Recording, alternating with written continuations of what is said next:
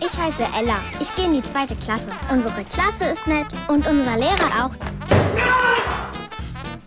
Ich habe das Gefühl, die wollen wieder kleine Schulen schließen. Kleine Schulen schließen?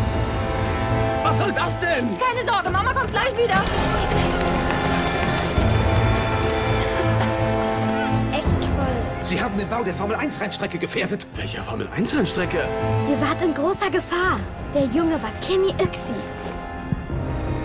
Und dieser andere, der war sein Vater. Eure Schule soll abgerissen werden. Es ist soweit. Die Zeit ist gekommen. Ah, Zeit was zu essen! Sind wir denn immer noch die besten Freunde? Auch wenn unser Zuhause verschwunden ist? Klar sind wir das.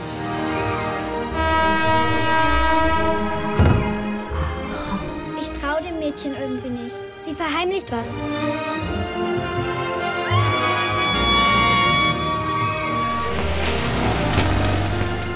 Ihr wollt mit uns um die Wette fahren? Ihr wollt gegen unser Team antreten?